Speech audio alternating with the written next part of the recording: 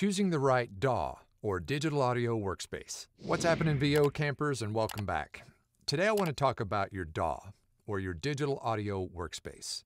And this is obviously the software that you record into so that you can manipulate it and make it sound as professional as possible. There are so many options out there for DAWs, and some are free, some are expensive, some are in the middle, some have all the bells, and whistles, some just have very basic stuff and it can feel a bit overwhelming trying to figure out which one is right for you.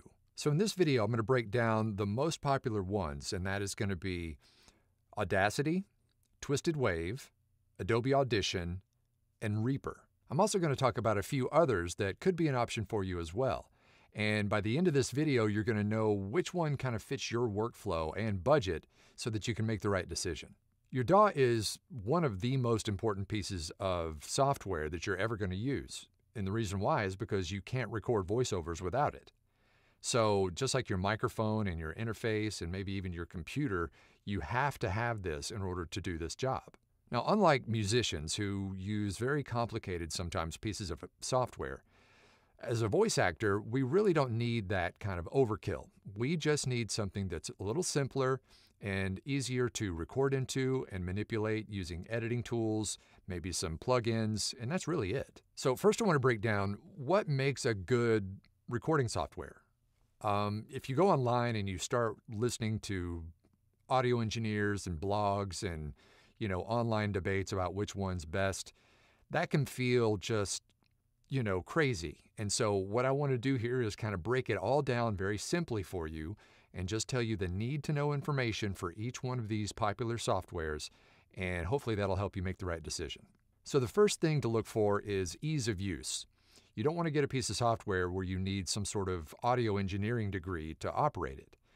Keep it simple, as usual, and just make sure that it doesn't slow your workflow down. You want it to actually help your workflow, not bog it down.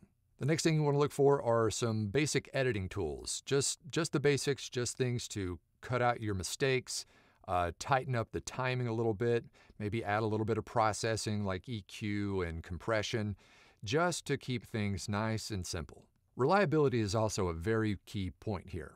You want to make sure that whatever software you're using is reliable. So if you're on some directed session with people helping direct you record, you don't have a crash. The next thing is the exporting capabilities. So you want to be able to export in at least WAV or MP3. Then, of course, there's a few other uh, types of files that you should be able to export in as well.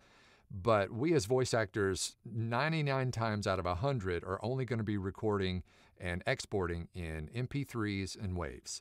And of course, last is budget. You want to make sure that whatever you're getting fits your budget. You know, some are free, some are hundreds of dollars, and some are right in the middle.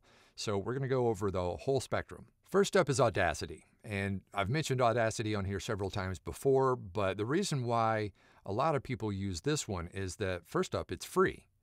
It's a, a very kind of basic version of a DAW, and it's available for Windows, Mac, Linux, you know, all, all operating systems. And it's, um, as I said, it's very stripped down and basic, but I know plenty of people who started with Audacity and just got used to it, and they continue to use it today, even in their full time VO career. Some of the pros for Audacity uh, are that it's free, obviously. Um, it's very simple to use. It's lightweight. It doesn't use a lot of resources of your computer, and it will, like I said, work on most every computer. Um, and there are a ton of tutorials on YouTube on how to use Audacity for voiceover. Now, some of the cons for Audacity is that it, uh, it kind of feels dated and clunky. It just looks super basic.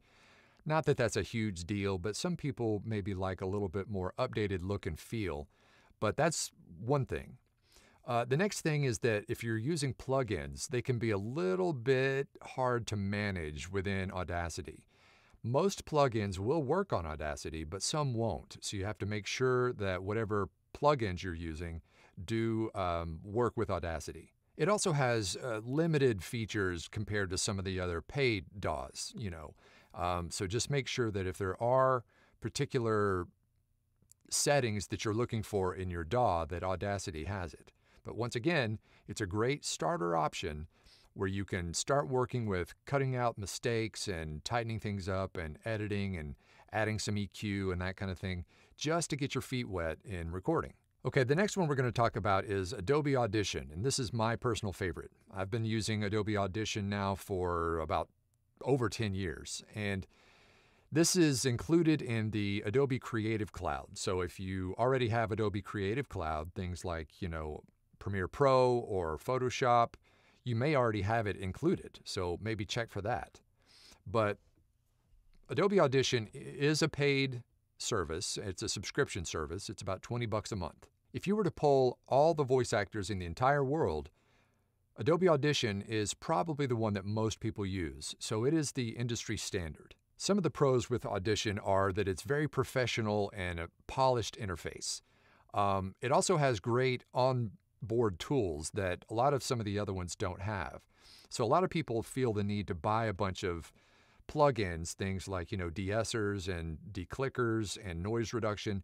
They have a very robust set of those already built in, so you don't have to go and buy these extra plugins because it's already baked into the cake. Now, some of the cons are that it um, it is subscription based, so you have to pay about 20 bucks a month to keep it. But the good news with that is that you always get the latest version. So anytime they have an update, you get an update, and it's always the, the very latest version of the software. Another con is that it can be a little overkill for a brand spanking newbie, especially if you know you're not very tech savvy. But if you have just kind of a base level of computer skills, it's pretty intuitive. And the last con is that it can be a little bit heavier on the resources of your computer. Not bad, but if you've got a super old computer, it might be a little bit much for that computer to run on. So if you're serious about voiceover and you want to make this, you know, a long-term goal, Adobe Audition will never steer you wrong. It is powerful, easy to use, has lots of built-in features, and once again is the industry standard. And now for something completely different. If you struggle with marketing your VO business, don't worry, you're not alone.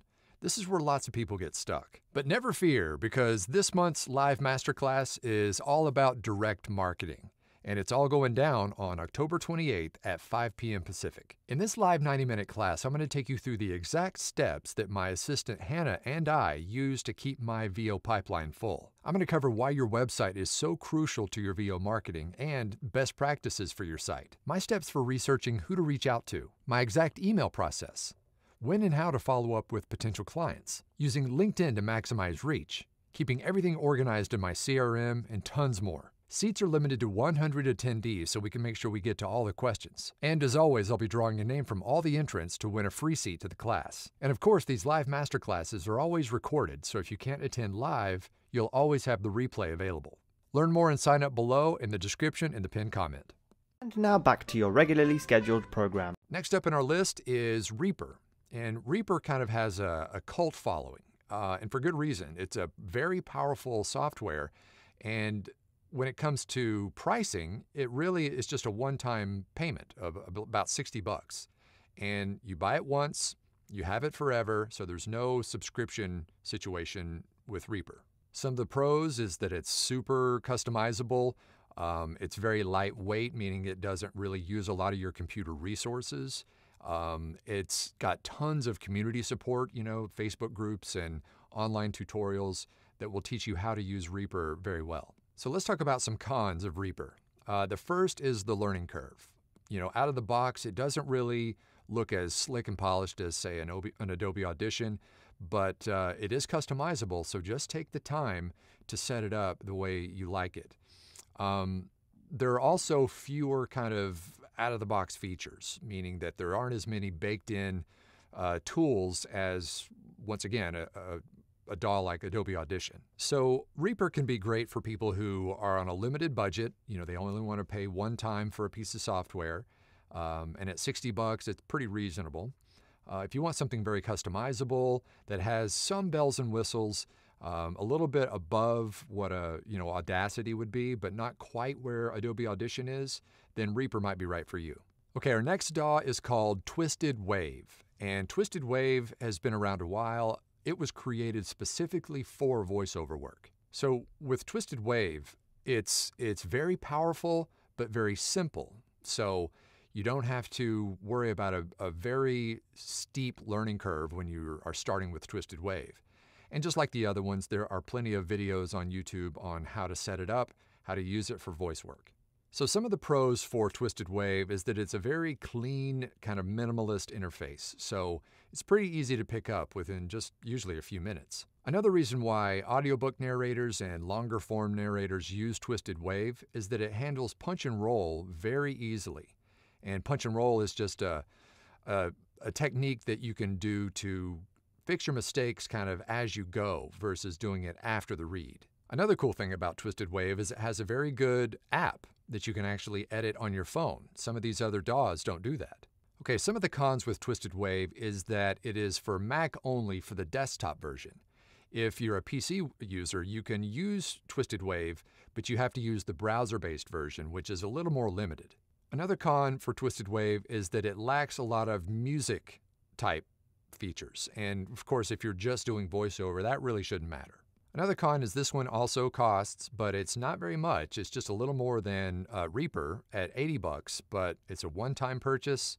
You get it forever, and uh, no subscription needed. So Twisted Wave is going to be for maybe if you're a longer form narrator, as I said, like an audiobook or e-learning or you know that kind of an editor who just wants something that's powerful but simple and easy to use for long periods of time. It doesn't have as many bells and whistles as say Adobe Audition, but if you just need the basics and something very solid, then Twisted Wave might be a good pick for you. Okay, now it's time for the honorable mention. And there's a few that are still out there that we haven't discussed. So uh, the first one is Pro Tools. Now, Pro Tools is kind of the, the industry standard when it comes to big time, you know, music production and film production. Um, it's super expensive. It's for voiceover, I feel like it's overkill, even though I do know narrators and voice actors who use Pro Tools simply because they were trained on it years and years ago, and that's what they're most familiar with.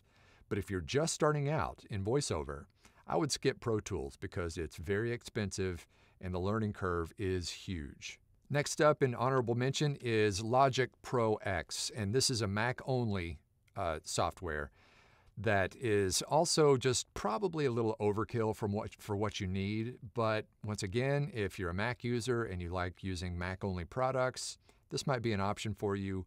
Just, uh, just be careful because, as I said, it can be a little bit overwhelming as well. And another Mac tool that comes free with all Macs is GarageBand. Now, this is very basic. I mean, this is something that, like Audacity, or even more basic than Audacity, if you want to just see what it's like recording your own voice and kind of playing around with it a little bit, you can use GarageBand. But honestly, it's not really built for professional VO recording. Okay, so let's stack these up side by side so you can compare and contrast. First up with Audacity. It's free, it's simple, and it's great for beginners. Next up is Adobe Audition. It's very polished, it is the industry standard, but there is a subscription. And then there's Reaper. So it's affordable, it is a one time license, so no continuing subscription needed. Um, it's very customizable, but it can have a little bit of a learning curve. Next up is Twisted Wave. Also, one time purchase. It's fast, it's reliable, it's kind of minimalist, but it's great for longer form narrators. Then there's Pro Tools and Logic. Those can be overkill for what we would need it for for a regular voiceover work. But if you've got the time to learn it and you got the money, go for it. So, really, you just have to figure out what's the most important thing to you. Is it the money? Is it the features? Is it the user friendliness? Um, those things all come into play here. So, make the best choice by maybe trying a few of these out. Some of them have free trials, so you can compare and contrast in real time as you're playing with them. So, which one should you choose? Well, here's my recommendation. If you're brand spanking new and you just want to feel this thing out, then go ahead and try Audacity. It's free, it's super basic, it'll let you record your voice and edit and play it back and just see if this is something that you want to get into. And if you're ready to invest and you want a subscription based tool that has all the bells and whistles, then I would go with Adobe Audition. That's the industry standard. And if you want power and flexibility without the ongoing cost of a subscription, then you could go with Twisted Wave or Reaper. Uh, they're a little simpler than Audition, but they definitely do the trick. There are plenty of people out there who use those uh, on a full time basis in VoiceOver. So, when you boil it all down, really the best DAW for you is the one that suits your situation the best. Um, you want it to streamline your workflow, not get in the way. Remember, no client will care what DAW you use. All they care about is getting good, clean, professional audio. So, check out the pricing, check out the features, and figure out which one might be the best for you. So, what about you? Which one do you use? Are you just starting out and using Audacity, or maybe even further into your journey and still using Audacity? Or maybe you're an Audition fan like I am?